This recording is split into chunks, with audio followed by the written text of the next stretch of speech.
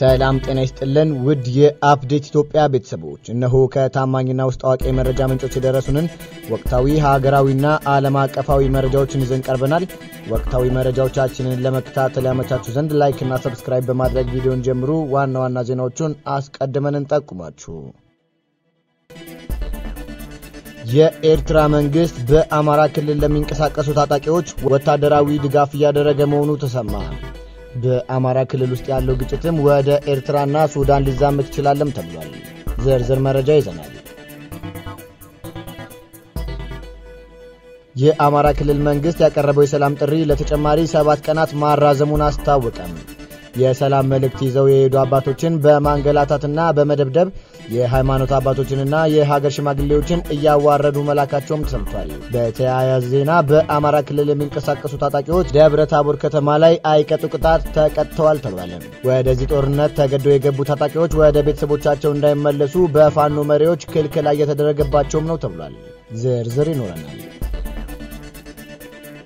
በዛሬው ዕለት የህዝብ ተወካዮች ምክር ቤት ባካሄደው መደበኛ ስብሰባው ወይዘሮ ሜላተወርቅ ኃይሉን የብሔራዊ ምርጫ ቦርድ ሰብሳቢ አድርጎ ሾሟል። የወይዘሪት ብርቱካን ሚደቅሳን ቦታ የተኩት ወይዘሮ ሜላተወርቅ ማን ናቸው?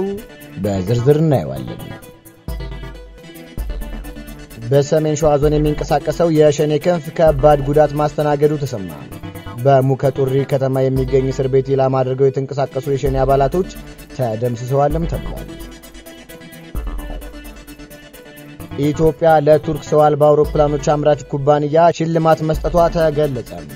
የዓለማችን ቁጥር አንድ ወታደራዊ ድሮን ነው የተባለለት ድሮን በኢትዮጵያ እጅ ገብቷል።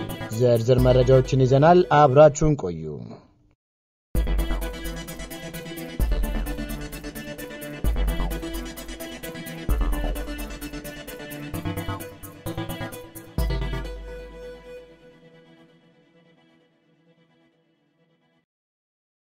በሰሜን ሸዋ ዞን የሚንቀሳቀሰው የሸኔ ክንፍ ከባድ ጉዳት ማስተናገዱ ተሰማ። በሙከ ጡሪ ከተማ የሚገኝን እስር ቤት ኢላማ አድርገው የተንቀሳቀሱ የሸኔ አባላቶች ተደምስሰዋልም ተብሏል። ከታንዛኒያው ድርድር መጨናገፍ በኋላ የሀገር መከላከያ ሰራዊት ከክልሉ የጸጥታ መዋቅር ጋር በመተባበር በወሰደው ተከታታይ እርምጃ ከፍተኛ ጉዳትን ያስተናገዱትና በእርምጃው የተደናገጡት የሸኔ አባላት በመንግስት ላይ ጫና ለመፍጠር በሚል በተለያዩ አካባቢዎች ንጹሐን ዜጎች ላይ አሰቃቂ ጥቃቶችን እየፈጸሙ እንደሚገኝ እየወጡ የሚገኙ መረጃዎች ያመላክታሉ። አሁን ደግሞ በሰሜን ሸዋ አካባቢ የሚንቀሳቀሰው የሸኔ ሽብር ቡድን ከሙከ ጡሪ ከተማ እስረኞችን አስለቅቃለሁ በሚል አጉል ድፍረት የሽብር ጥቃት ለመፈጸም እየተንቀሳቀሰ እያለ በአካባቢው የሚገኘው የሀገር መከላከያ ሰራዊት ስለ ቡድኑ እንቅስቃሴ ቀድሞ መረጃ የደረሰው በመሆኑ ተገቢውን ዝግጅት በማድረግ ለሽብር ቡድኑ ተገቢውን ቅጣት ሰጥቶታል ተብሏል። በተወሰደው እርምጃ በርካቶች የተደመሰሱ ሲሆን ቆስለው የተያዙ መኖራቸው ታውቋል። የተቀሩትን በእጃቸው የነበረውን መሳሪያ በመጣል ፈርጠው መጥፋታቸውንም የደረሰ መረጃ አመላክቷል። የኦሮሚያ ክልል መንግስት ከዚህ በፊት ባወጣው መግለጫ መንግስት በቡድኑ ላይ እየወሰደው ባለው እርምጃ የሽብር ቡድኑ በመደናገጡ በሰላማዊ ዜጎች ላይ አሰቃቂ እርምጃዎችን እየወሰደ ይገኛል ማለቱንና ቡድኑ ተገዶ ወደ ሰላም እንዲመጣ እርምጃ እየተወሰደ ነው ሲል መግለጹ የሚታወስ ነው። በተደጋጋሚ የቀረበለትን የሰላም ጥሪ ወደ ጎን በማለት የእናቶችን ስቃይና ለቅሶ ለማራዘም የሚንቀሳቀሰው ይህ አሸባሪ ቡድን የኦሮሞ ሕዝብ ጠላት መሆኑን በግልጽ ማሳየት ከጀመረ ቆይቷልም ተብሏል።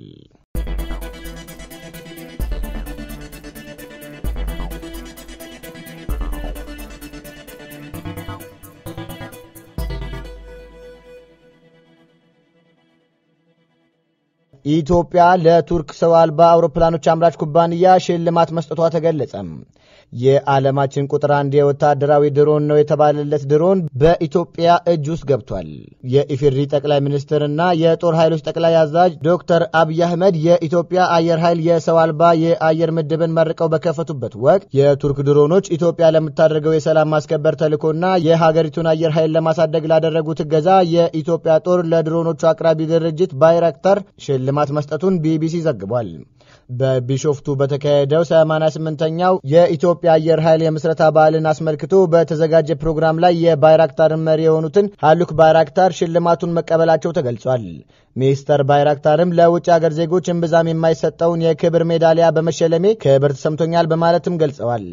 የኢትዮጵያ አየር ኃይል ባይራክታር ቲቢቱ ኤስ የተሰኙ መካከለኛ ድሮኖችን መታጠቁ የሚታወቅ ሲሆን እነዚህ የቱርክ ድሮኖች ከ150 ኪሎ ሜትር ርቀት ላይ በመሆን መቆጣጠርና ማዘዝ ይቻላል። ከድሮኑ በ15 ኪሎ ሜትር ያለ ማንኛውም ኢላማ መምታት የሚችሉ ሲሆን እነዚህ ድሮኖች በሀገራችን በሰሜኑ ክፍል በነበረው ጦርነት ከፍተኛ የሚባል አስተዋጽኦ ማድረጋቸውም ይታወሳል።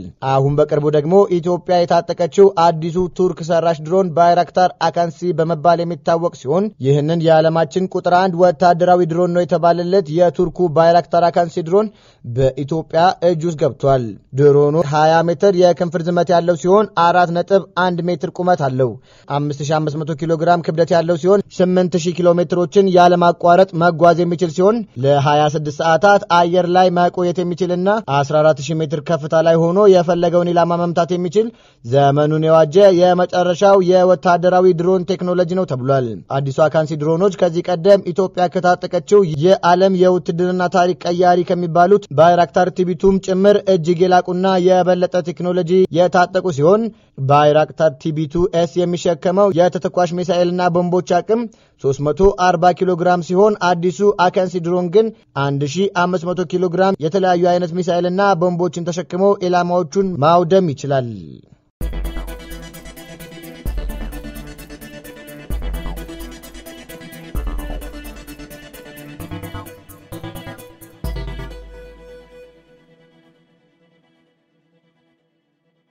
የኤርትራ መንግስት በአማራ ክልል ለሚንቀሳቀሱ ታጣቂዎች ወታደራዊ ድጋፍ እያደረገ መሆኑ ተሰማ። በአማራ ክልል ውስጥ ያለው ግጭት ወደ ኤርትራና ሱዳን ሊዛመት ይችላልም ተብሏል። ከወራት በፊት በተለያዩ የአማራ ክልል አካባቢዎች የተጀመረው በትጥቅ የተደገፈ የአመፅ እንቅስቃሴ እየተዳከመ የመጣ ሲሆን ሙሉ በሙሉ ለማቆም ግን እንዳልተቻለ ይታወቃል። ታጣቂዎቹ ምንጫቸው የማይታወቅ አዳዲስ መሳሪያዎችን መታጠቅ እንደጀመሩም እየተሰማ ነው። የክልሉ መንግስት ያቀረበውን የሰላም ጥሪ ተከትሎ በተለያዩ አካባቢዎች ከፍተኛ ቁጥር ያላቸው ታጣቂዎች በሰላም እየገቡ ቢሆንም አሁንም ግን የሰላሙን ጥሪ ያልተቀበሉ ታጣቂዎች በተለያዩ አካባቢዎች እንቅስቃሴ እያደረጉ መሆኑ ይታወቃል።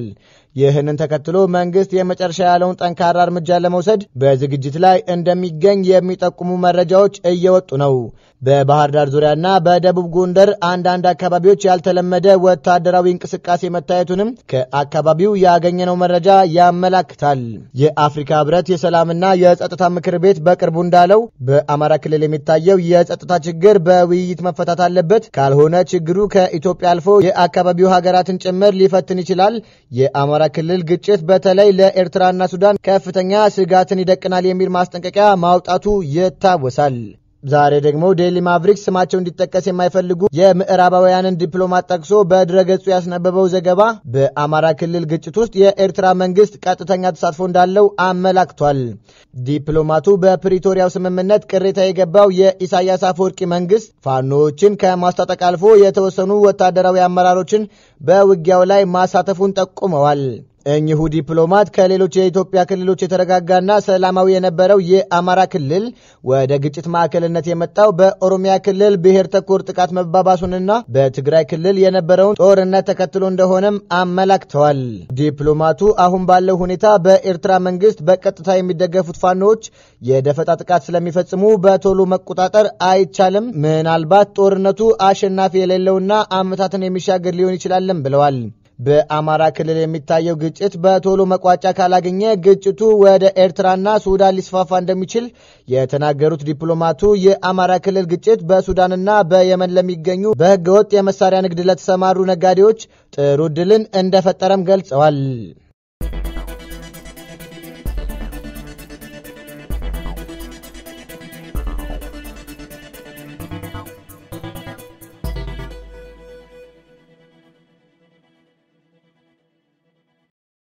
ዛሬ የህዝብ ተወካዮች ምክር ቤት ባካሄደው መደበኛ ስብሰባው ወይዘሮ ሜላተወርቅ ኃይሉን የብሔራዊ ምርጫ ቦርድ ሰብሳቢ አድርጎ ሾሟል። የወይዘሪት ብርቱካን ሚደቅሳን ቦታ የተኩት ወይዘሮ ሜላተወርቅ ማን ናቸው? ምክር ቤቱ ወይዘሮ ሜላተወርቅ ኃይሉን የብሔራዊ ምርጫ ቦርድ ሰብሳቢ አድርጎ የሾመው በአንድ ድምፅ ተአቅቦ በአብላጫ ድምፅ ነው። ወይዘሮ ሜላተወርቅ በብሔራዊ ምርጫ ቦርድ ውስጥ በተለያዩ የኃላፊነት ቦታዎች ያገለገሉ ሲሆን ለሁለት ዓመታት የኢትዮጵያ ብሔራዊ ምርጫ ቦርድ ስራ አስፈጻሚ ሆነው ሰርተዋል።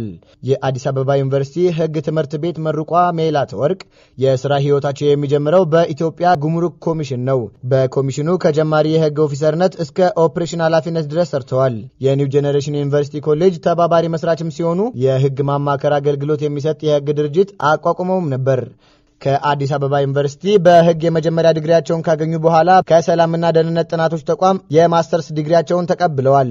ከአሜሪካ ሃርቫርድ ዩኒቨርሲቲ ኬኔዲ ትምህርት ቤት በህዝብ አስተዳደር ሌላ የማስተርስ ዲግሪም አላቸው። በአካዳሚክ በፖሊሲና በ public sector ባለሙያነት በሁለትዮሽና በዘርፈ ብዙ ባለወገን ስምምነቶች ተደራዳሪነት በግልግል ዳኝነት አማካሪ በመሆን ሰፊ ልምድ እንዳላቸው በቅርብ የሚያውቋቸው ሰዎች ይናገራሉ። ወይዘሮ ሜላተወርቅ በቀጣይ የቀድሞዋ ሰብሳቢ ወይዘሪት ብርቱካን ሚደቅሳ ያላጠናቀቋቸውን የቤት ስራዎች ከፊታቸው ይጠብቋቸዋል። ከእነዚህም ቀዳሚውና ትልቁ ያለፈው ምርጫ ባልተካሄደባቸው የአገሪቱ አካባቢዎች ምርጫ ማካሄድ ነው። እንዲሁም ደግሞ ለሁለት ዓመታት ጦርነት ሲካሄድበት በቆየው የትግራይ ክልል የፓርላማም የክልል ምክር ቤት ምርጫ አልተካሄደም። ቦርዱ በተያዘው 2016 ዓ ም በክልሉ ምርጫ ለማካሄድ እቅድ መያዙን ለፓርላማ አስታውቆም ነበር። መጪው የቦርድ ሰብሳቢ ይህንን እቅድ ያሳኩታል ወይ የሚለው በሂደት የሚታይ ጉዳይ ነው። የቀድሞ የቦርዱ ሰብሳቢ የነበሩት ወይዘሪት ብርቱካን ሚደቅሳ ጤናዬን በሚገባ ለመጠበቅ የረጅም ጊዜ ረፍት ያስፈልገኛል በሚል ከሰኔ 1 2015 ዓ ም ጀምሮ ከኢትዮጵያ ብሔራዊ ምርጫ ቦርድ ሰብሳቢነት በገዛ ፈቃዳቸው መልቀቃቸው ይታወሳል። ከዚህ በተጨማሪ የህዝብ ተወካዮች ምክር ቤት ለኢትዮጵያ ብሮድካስቲንግ ኮርፖሬሽንና የኢትዮጵያ ፕሬስ ድርጅት አዳዲስ ዋና ስራ አስፈጻሚዎችን ሹመት አጽድቋል። አቶ መሳፍንት ተፈራ የኢትዮጵያ ፕሬስ ድርጅት ዋና ስራ አስፈጻሚ ሆነው ሲሾሙ፣ አቶ ጌትነት ታደሰ የኢትዮጵያ ብሮድካስቲንግ ኮርፖሬሽን ዋና ስራ አስፈጻሚ ሆነው ተሹመዋል። ፓርላማው ሹመቶችን በሙሉ ድምፅ ያጸደቀው ዛሬ ማክሰኞ በአካሄደው መደበኛ ስብሰባው ነው።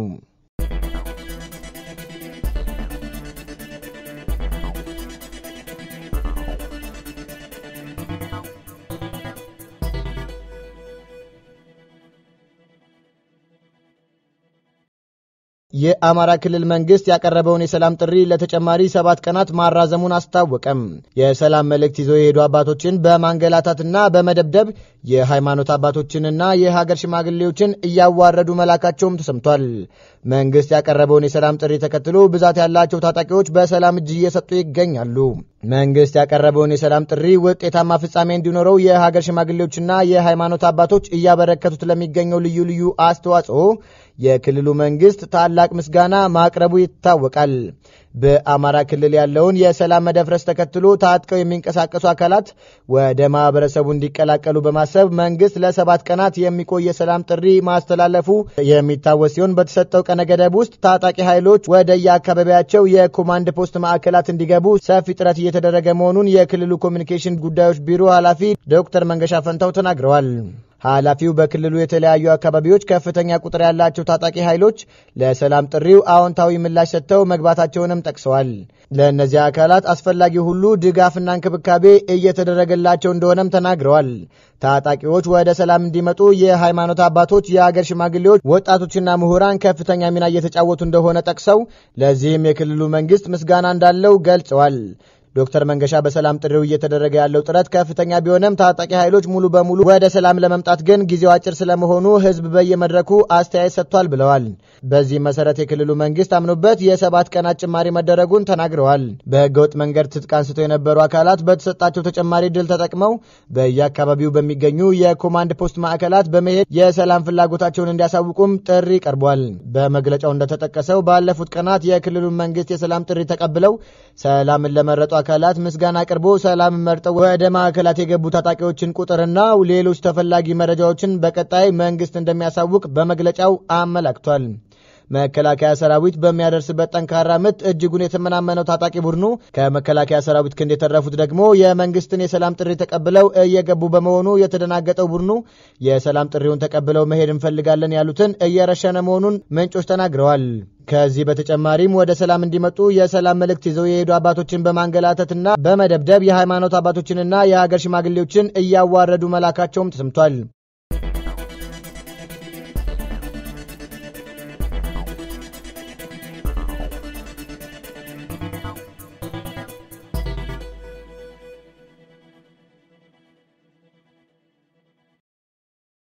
በአማራ ክልል የሚንቀሳቀሱ ታጣቂዎች በደብረ ታቦር ከተማ ላይ አይቀጡ ቅጣት ተቀጥተዋል ተባለም። ወደዚህ ጦርነት ተገደው የገቡ ታጣቂዎች ወደ ቤተሰቦቻቸው እንዳይመለሱ በፋኖ መሪዎች ክልከላ እየተደረገባቸው መሆኑም ተሰምቷል። ታጣቂዎቹ የሐሰት ፕሮፓጋንዳ ሰምተው ነፍጥ ታጥቀው ጫካ መግባታቸው የሚታወስ ነው። አሁን ላይ ታዲያ መንግስት ያቀረበውን የሰላም ጥሪ ተከትሎ ጥሪውን ተቀብለው ወደ ሰላም እየተመለሱ ያሉ የታጣቂ ቡድኑ አባላት እንዳሉ ሁሉ ሰላምን የማይፈልጉና ህዝብን አሰቃይቶ መኖር የሚያስደስታቸው የታጣቂ ቡድኑ አባላት በደብረ ታቦር ማህደረ ማርያም በሚባል አካባቢ ተደብቆ ወደ ህዝብ ገብቶ ምግብና ውሃ ሲያፈላልግ በጉዞ ላይ እንዳለ በጀግኖቹ የሀገር መከላከያ ሰራዊት በተወሰደበት እርምጃ ሙትና ቆስለኛ ሆኗል ተብሏል። ታጣቂዎቹ ይጠቀሙበት የነበረው የተለያዩ የነፍስ ወከፍ መሳሪያም በጀግኖቹ እጅ መግባቱ ታውቋል። ከመደምሰስ ያመለጠው የታጣቂ ቡድንም ወደ ደብረ ታቦር መፈርጠጣቸው የተሰማ ሲሆን የሀገር መከላከያ ሰራዊት ታጣቂዎቹን እስከ ወዲያኛው ለመሸኘት እግር በእግር እየተከታተሉት እንደሆነ ከምንጮች የደረሰ መረጃ ያመላክታል። ጽንፈኛ ቡድኑ የአማራ ህዝብ በሰላም ወጥቶ እንዳይገባ በማድረግ ሰላማዊ ዜጎችን እያጠቃ ንብረት እየዘረፈ እንደሚገኝ ይታወቃል። በዚህ ጽንፈኛ ቡድን የተማረረው ህዝቡ ከጸጥታ ኃይሉ ጎን በመቆምና ኦፕሬሽኑን በመደገፍ ቡድኑ በአሁኑ ሰዓት መውጫ መግቢያ አጥቶ በርካታ ታጣቂዎች እየተደመሰሱበት ሲሆን የቀረው ደግሞ ቁስለኛ ሆኖ እየተበታተነ ይገኛል። ከእርምጃው የተረፉ ታጣቂዎች በየቦታው ለጸጥታ ኃይሉ እጅ እየሰጡ እንደሚገኙ እየወጡ ያሉ መረጃዎች ያመላክታሉ።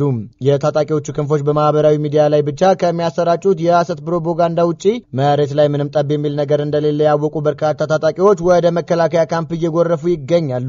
እጅ የሰጡና መከላከያ ባዘጋጀው ካምፕ የገቡ የቡድኑ አባላት እንደሚሉት ከሆነ እኛ ያለ ፍላጎታችን ተገደን ነው ወደዚህ ጦርነት የገባ ነው። እንደኛ ተገደው የገቡ ጓደኞቻችን ወደ ቤተሰቦቻቸው ጋር እንዳይመለሱ በፋኖ መሪዎች ክልከላ የተደረገባቸው ነው። እኛም የአማራ ክልል መንግስት ያስተላለፈውን የሰላም ጥሪ ተቀብለን ህይወታችንን አትርፈናል ብለዋል። አሁን ላይ በክልሉ በሁሉም አካባቢዎች በሚባል ደረጃ የህገ ወጡ አደረጃጀቶች እየፈረሰ መሆኑም ታውቋል።